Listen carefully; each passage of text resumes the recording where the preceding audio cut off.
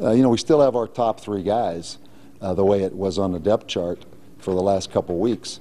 Uh, you know, it's just that we're unbelievably thin. You know, we don't even have a walk-on quarterback for any kind of a scout squad. So it's like it is at a lot of other positions. You know, it's just so thin. You know, but hopefully we can make it through the season. That's Lobo head football coach Bob Davie talking about the new challenge to depth at the quarterback position with the departure of Dustin Walden, who chose to transfer.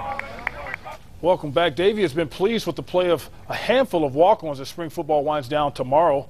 One of those walk-ons probably fits into the category of smallest guy on the field. Defensive back Tim Foley is only 5'7 and a buck 69. That would be 169 pounds. But the former Rio Rancho High star plays big whether it's on defense or special teams. He caught the eye of head coach Bob Davie and could find himself playing a lot of minutes in the fall.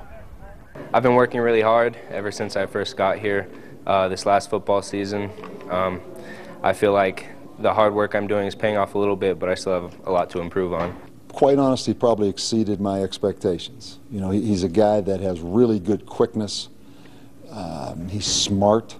He doesn't take wasted steps because of that. I feel like I've been able to do this. It was just the coaches that to have a coach to believe in me, to put me out in the field to actually see what I can really do.